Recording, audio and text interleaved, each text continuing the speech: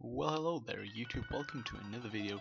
This time I'm going to show you a replay mat battle I um, had against, like I had the battle uh, against Weilai in the tournament, in the finals of a tournament, of a gym leader tournament where you get a gym leader and you get, you can uh, you only use Pokemon that you, that the gym leader used.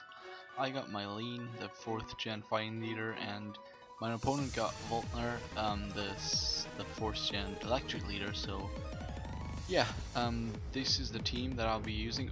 Obviously, it's really powerful. I got probably got the best, um, probably got the best leader. But anyways, let's just get into the battle. I have Sash leading Fernips, and she just leads off with Rotom Wash.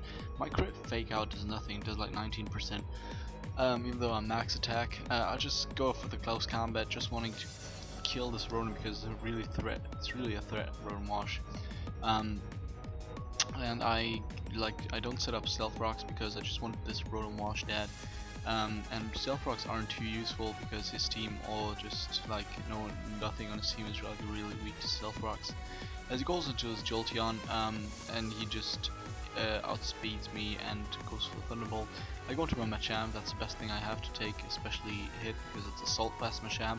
I just go for the knockoff, clean destroy this Jolteon. I get paralyzed though, so he gets he kind of gets, as you can see, he gets really lucky in this battle. He just kills me with Wild Charge, which is alright because I have switch-ins. Dual Activier, for example, my Glade, which is Scarf, so I can just go for the Scarf for combat, destroy this thing's life.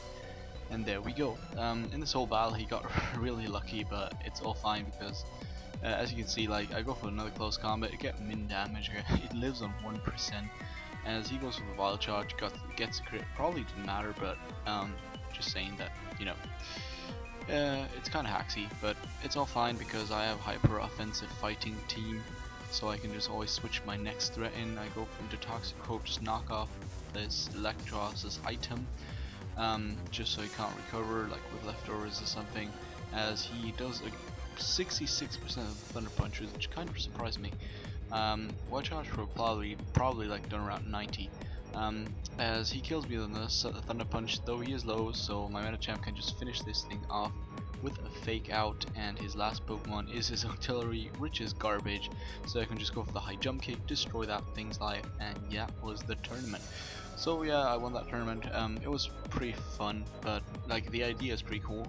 I got a really OP team kinda, um, like uh, Lucario, I could have used Mega Lucario being like a huge dick and uh, just you know using the illegal stuff.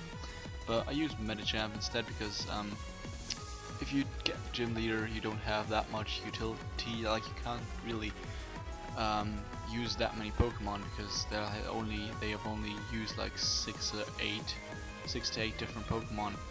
Um, considering the Black and White 2 uh, rematches as well.